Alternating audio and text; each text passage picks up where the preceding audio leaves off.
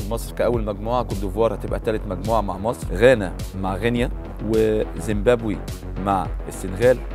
جنوب افريقيا مع تونس بعدين مالي مع الكاميرون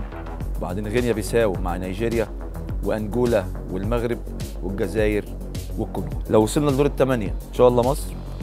مع غانا السنغال وتونس ودي من اقوى المباريات الكاميرون ونيجيريا والمغرب والجزائر دول الاربعه هيبقى مصر والسنغال وده نهائي مبكر المباراه الثانيه الكاميرون والمغرب لو ربنا اراد ان شاء الله باذن الله النهائي نتمنى مصر والمغرب ان شاء الله في النهائي ومصر باذن الله تاخد البطوله ان شاء الله